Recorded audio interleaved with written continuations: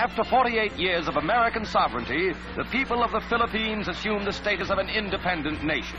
The transfer is made on the 4th of July, a day full of significance for these Yanks.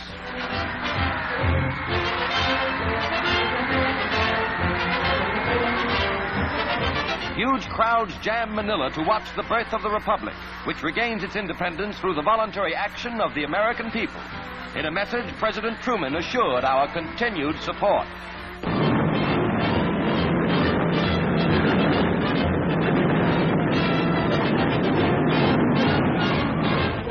The new nation looks forward to prosperity.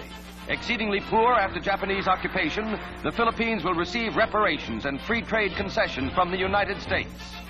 Manuel Roxas, newly elected to the presidency, takes the oath of office as Ambassador Paul McNutt looks on.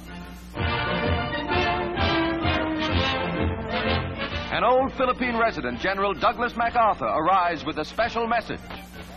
48 years ago, the mantle of American sovereignty fell over this land and this people.